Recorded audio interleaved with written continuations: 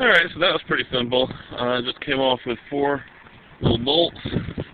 These ones right here with the big washers on them. And uh, you can see where the holes are. There, there, there, and there.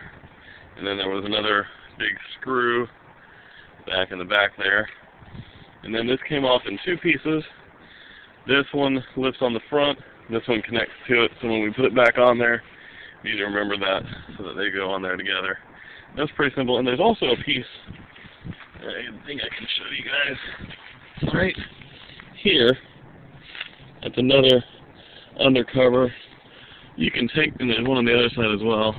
You can take those off if you want to, but I'm probably just going to leave them on. Because I don't think they're in the way. Of course, it might make a liar out of me. We'll see.